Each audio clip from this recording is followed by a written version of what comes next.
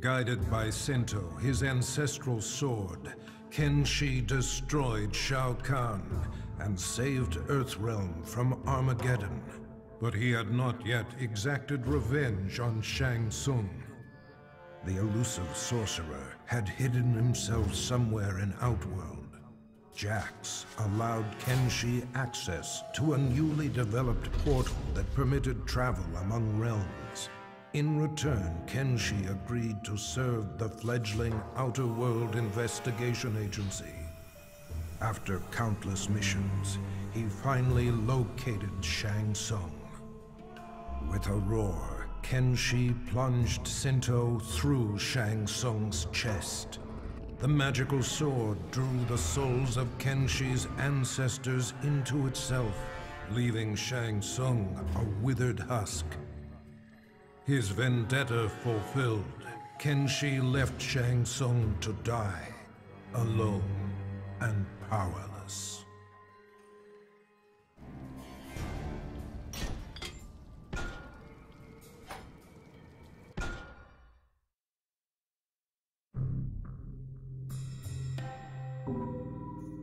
Shao Kahn had used rain to crush the Edenian resistance, but had not granted him an army.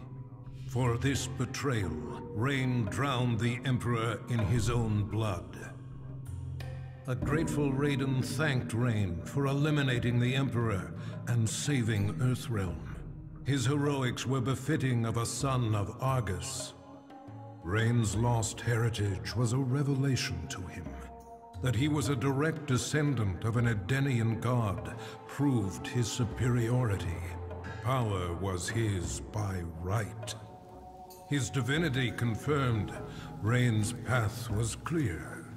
He would use Shao Kahn's army to rule not just Outworld, but all the realms. To Raiden's surprise and horror, Rain's first target is Earthrealm.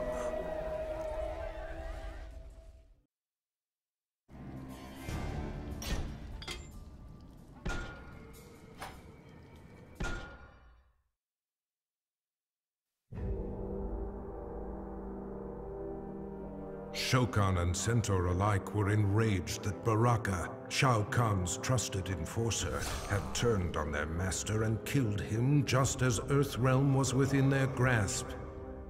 But their anger turned to admiration as the lifeless body of Shao Kahn transformed into that of the treacherous sorcerer Shang Tsung. Shang had attempted to claim the realm for himself by posing as Shao Kahn. The deception had not fooled Baraka. He had recognized Shang Tsung's scent and torn out his throat. With Earthrealm finally in Shao Kahn's control, Baraka's loyalty and bold action were rewarded. The Tarkatans replaced the Centaur as the Emperor's favored race.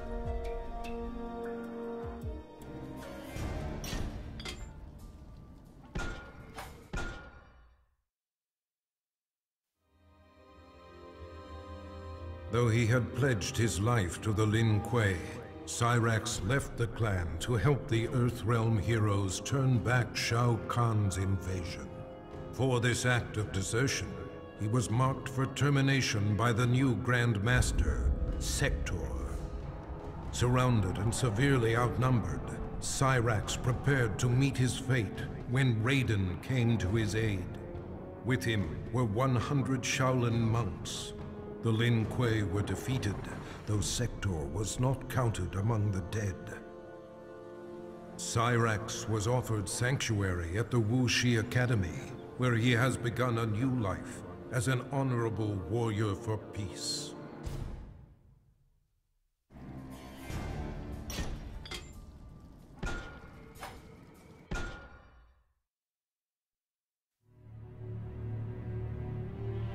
With Shao Kahn dead, Ermac was no longer bound to him. Anarchy erupted within Ermac as the many warrior souls that comprised his being struggled for dominance. Only one had the strength of will to quiet the chaos. The conflict resolved, Ermac returned to Outworld determined to reunite with his past. Queen Sindel and Princess Kitana were shocked to learn the truth that trapped among the many spirits within Ermac was their husband and father, King Jerrod. Though he would never be the Jerrod they once knew, Ermac would forever serve and protect his queen and the Edenian people.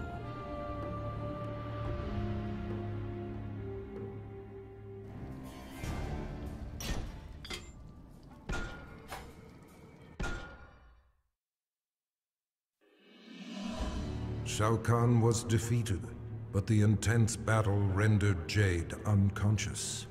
She slipped into a dreamlike state and found herself walking in an unknown realm.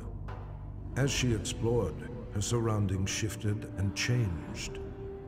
Jade approached a lone figure who stood in the distance, a shimmering woman.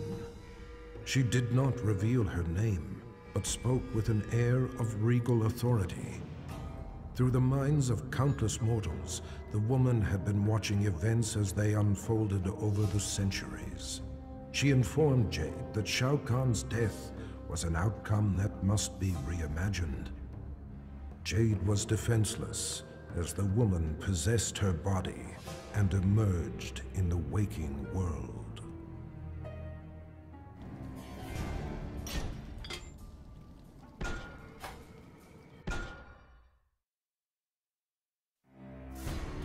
After the invasion was thwarted, many of Jax's allies had seemingly disappeared, leaving him to clean up the mess on his own. He searched for Shao Kahn's remaining forces, utilizing a new cyber scanner designed to remotely access worldwide databases. Navigating its virtual reality interface, Jax inadvertently accessed Kano's brain through his optical laser implant. Their minds linked, Jax virtually battled Kano. Finally, he captured and quarantined Kano's consciousness within the Special Forces mainframe. The dangerous criminal had finally been neutralized.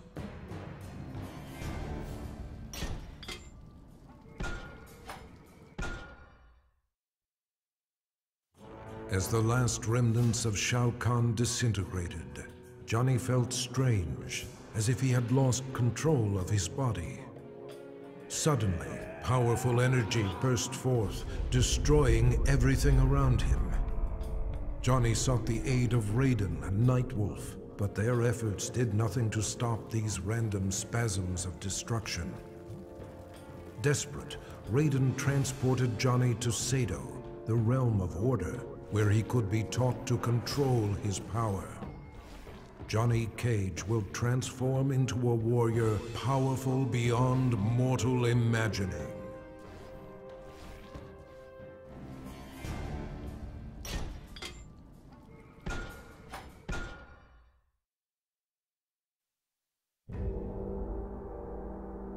Victory over Shao Kahn came with a heavy price. Cabal's respirator was badly damaged, and if it was not repaired soon, he would surely die. Desperate, he tracked down Kano and forced from him the identity of the cyberneticist who developed Kano's eye laser. The good doctor was not easy to find, but he was more than eager to help, for a price. Now Cabal is rebuilt.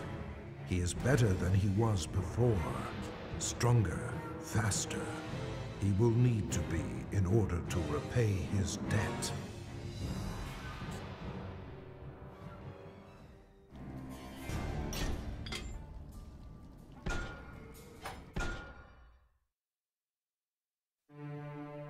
Kano made a fortune selling arms to Shao Kahn and used the profits to upgrade his cybernetics.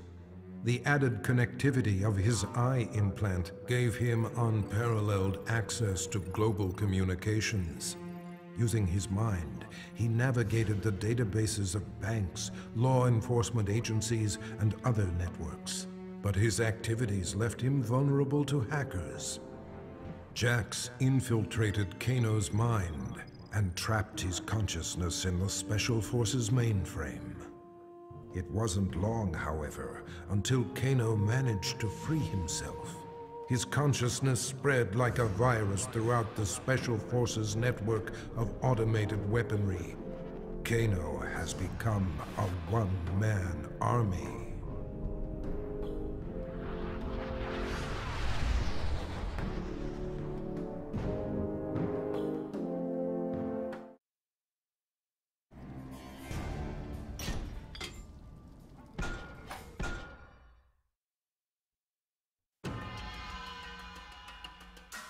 Kitana had ended Shao Kahn's life for his betrayal. She had discovered the truth about Mileena, but rather than slay her as well, she took pity on her half-sister. She offered Mileena a home within the Edenian aristocracy. She was, after all, of royal blood. Mileena cautiously accepted her sister's invitation. With Mileena and Jade at her side, Kitana formed a fighting force dedicated to bringing justice to the realms. Never again would a warlord arise to create such terror.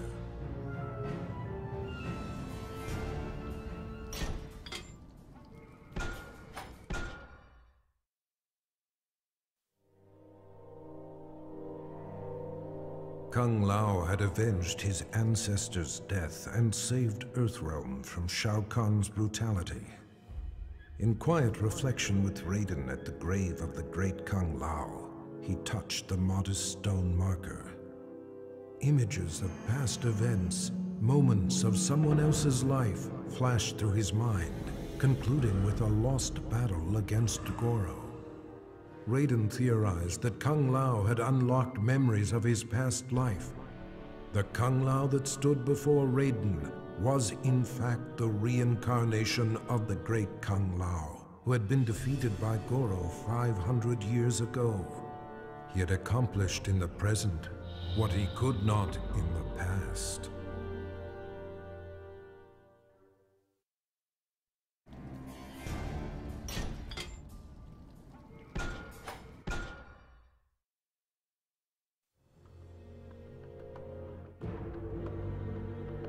Having defeated Shao Kahn, Liu Kang believed he was the only one capable of defending Earthrealm against outside threats. During the invasion, Raiden had been more burden than ally. Brazenly, he demanded the Elder Gods grant him the Thunder God status. In a one-match Mortal Kombat tournament, Liu Kang defeated his former friend and mentor. Liu Kang's request was granted. He was made a god, the new protector of Earthrealm.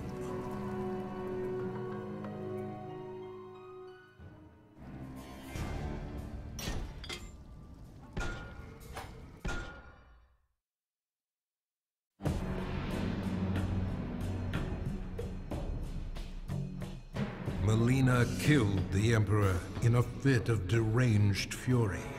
But she was unaware that her victory resulted from Shang Tsung's designs. He had imbued Mileena with the ability to drain Shao Kahn's dark magic, rendering him vulnerable. Now Shang Tsung was ready to execute the next phase of his plan. Murder Mileena and take Shao Kahn's power for himself. But Mileena instinctively wielded her new dark power against the sorcerer. Shang Tsung's end came quickly. Mileena absorbed his soul, multiplying her strength. She then set out to claim an even bigger prize, the soul of a Thunder God.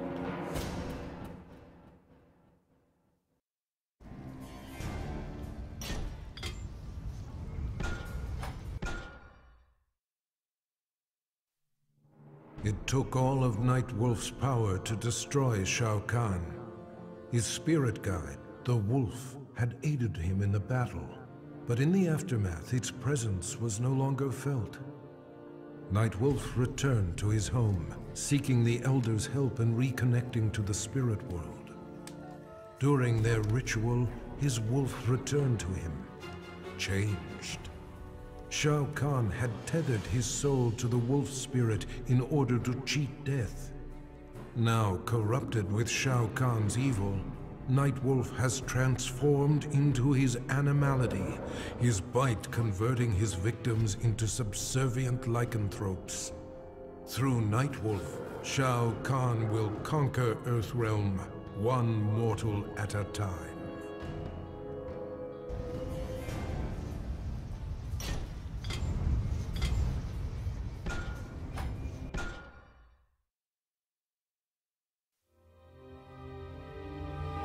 Quan Chi should never have resurrected Noob Saibot, nor should he have enhanced his power to defeat Shao Kahn.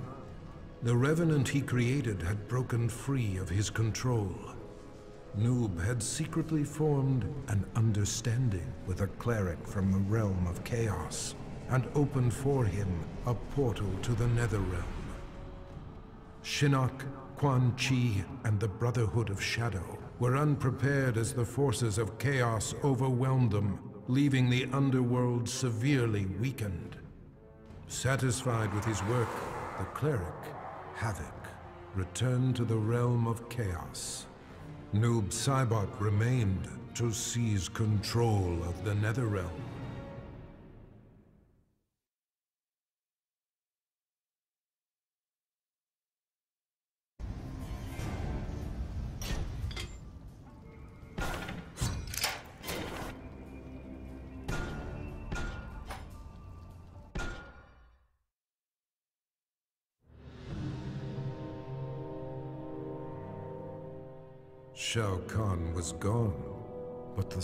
Of the merging of realms remained. Remnants of the invasion force roamed freely and had to be dealt with. But Earthrealm is vast, and Raiden is but one being. He recruited four warriors, one for each direction of the wind, and divided his soul, placing one part in each of them. Through these new heroes, Raiden can combat the forces of darkness in four places at once.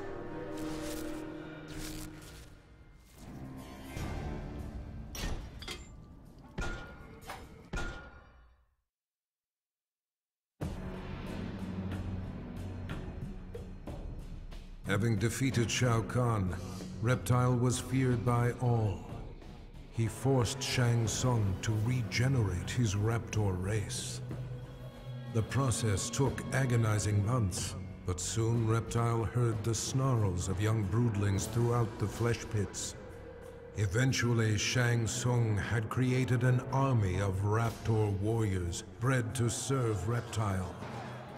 They stormed the realm, killing any Tarkatan, Shokan, or Centaur who opposed Reptile's rule. The intoxicating feeling of reuniting with his people blinded Reptile to the suffering of his former comrades. Reptile was home once more.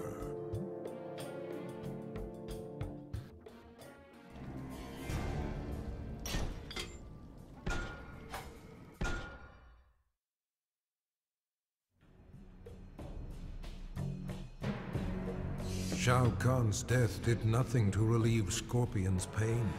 The loss of his kin still weighed heavily upon him. For reasons he could neither explain nor understand, he was drawn to the home of the Shirai Ryu. Standing amid the rubble in solemn contemplation, Scorpion was visited by apparitions of his fallen comrades, who revealed the true mastermind behind their brutal deaths. Enraged, he returned to the Netherrealm. As the spirits of his kin immobilized Quan Chi, Scorpion slew him, finally avenging their deaths.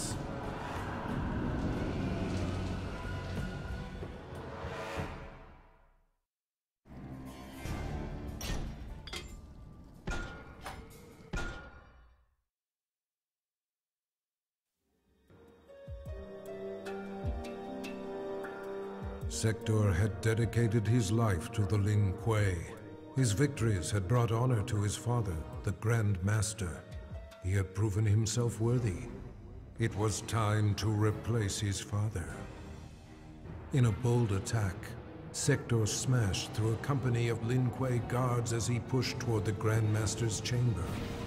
There he found his father waiting. The Grand Master warned him that wearing the Dragon Medallion brought much power, but at a cost. Sector ignored the warning and slew his father, whose soul burst from his body and flew into the medallion. Sector had finally seized control of the Lin Kuei.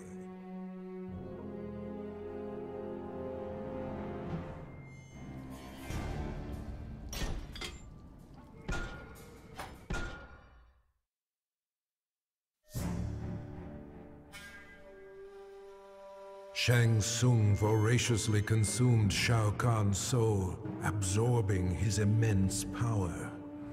Overwhelmed by his newfound sorcery, he fled to Outworld. Moments before suicide, Shang Tsung was visited by Bo' Rai Cho. The mentor of warriors offered to teach him to control the dark magic, but for a special purpose. Liu Kang had become a god. The power had corrupted him, transforming him into a tyrant. He needed to be stopped. After rigorous training, Shang Tsung mastered the one technique that could finish Liu Kang. Vengeance would finally be his.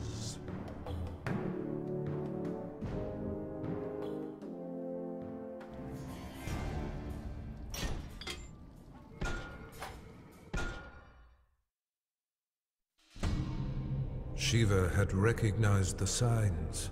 Her people were out of favor and in decline. The Centaur would soon dominate Shao Kahn's forces, while the Shokan would move inexorably toward extinction.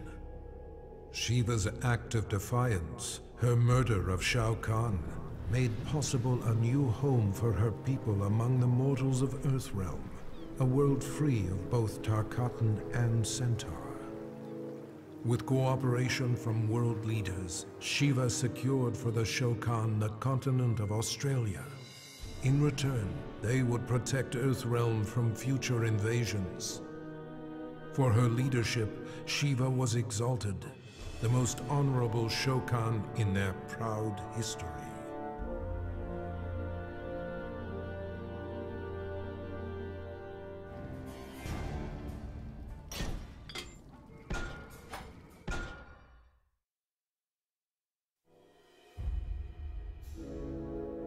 The spell that bewitched Queen Sindel had been broken.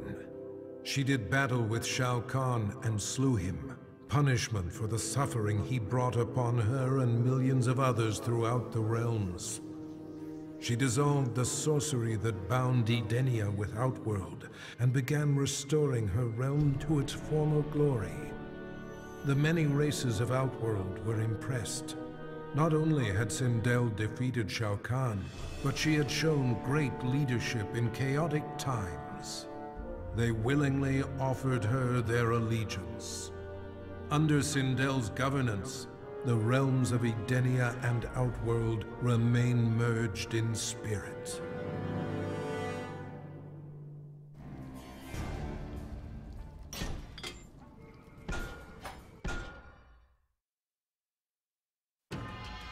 Shao Kahn's violent death shook the very core of Smoke's being and dislodged his earliest memories.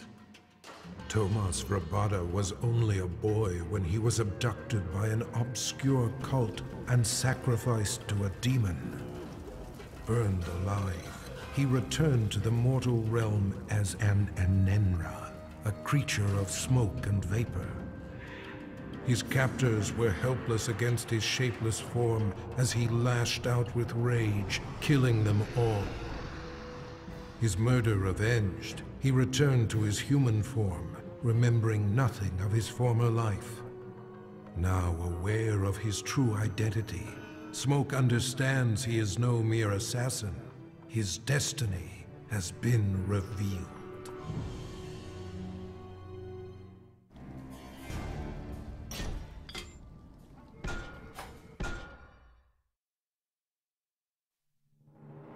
The loss of friends and allies during the battle with Shao Kahn took its toll on Sonya Blade's sanity.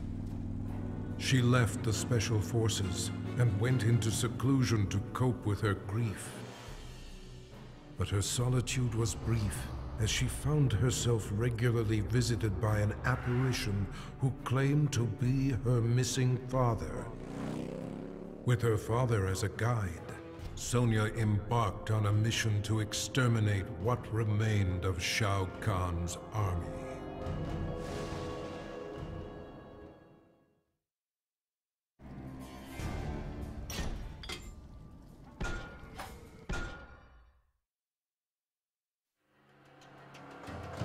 Despite telling the world that he was simply doing his job, Stryker was made a hero for saving Earth from invasion.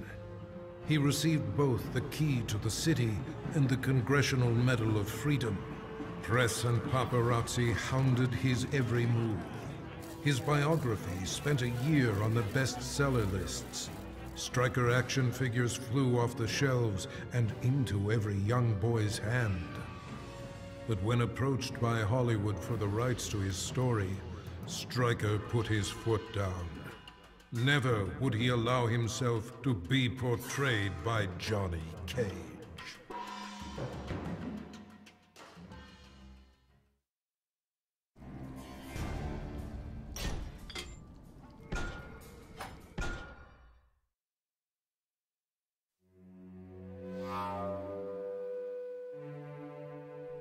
After the victory over Shao Kahn, Sub-Zero learned from Raiden the truth. That the Lin Kuei were ultimately responsible for the deaths of both Sub-Zero's and Scorpion's families. Enraged, Sub-Zero offered Scorpion a chance to share in his quest for vengeance.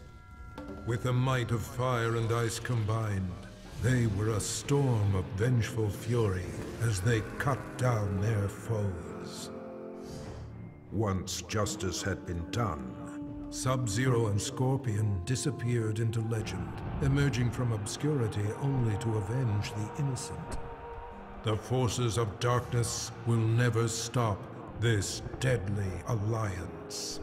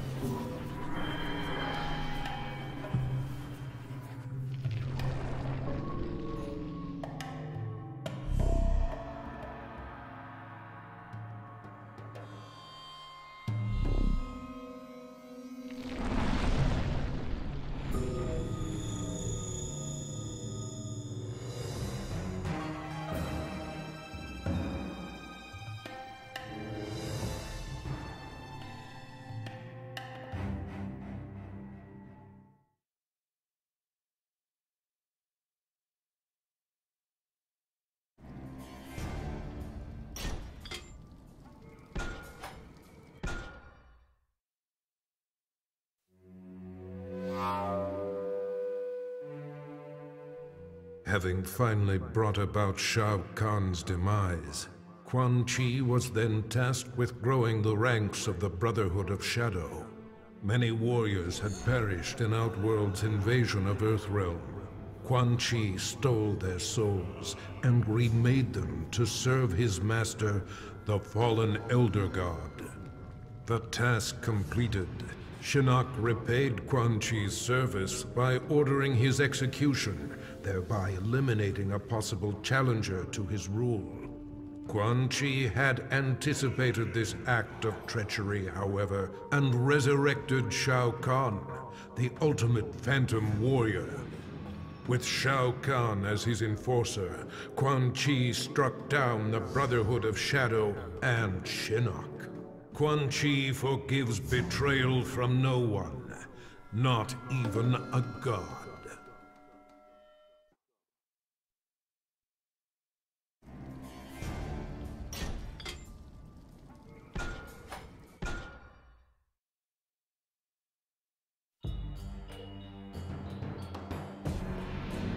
Controlled by Quan Chi's sorcery, Skarlet attacked and destroyed Shao Kahn.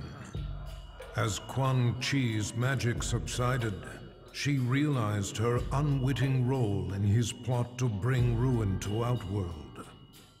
With Shao Kahn's blood splattered across her body, Skarlet absorbed his immense strength. She used this newfound power against Quan Chi. Brotherhood of Shadow Warriors raced to defend the Sorcerer, but their blood only served to make Skarlet invincible. In a battle between sorcery and gore-fueled fighting power, she avenged her fallen master. Having served her purpose, Skarlet disappeared into the shadows, awaiting Shao Kahn's rebirth.